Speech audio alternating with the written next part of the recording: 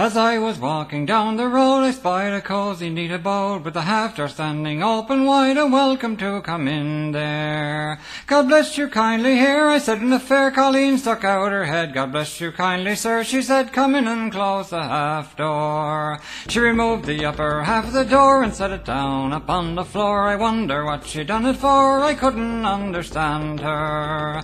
Then she danced the Shaskeen reel, and on the door the click of her heel resounded clear from stern to keel. She pleased the Newfoundlander.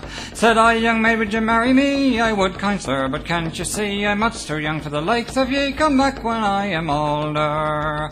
When I was taking me leave of the door, she whispered softly in me ear, I pray you come again in a year, and this is what I told her. Tis then I'll be coming down the road to visit your cosy neat abode, with a half door standing open wide, a welcome to come in there. God bless you kindly here, I said, and the fair Colleen withdrew her head. God guard you kindly, sir, she said, I'll wait within the half door.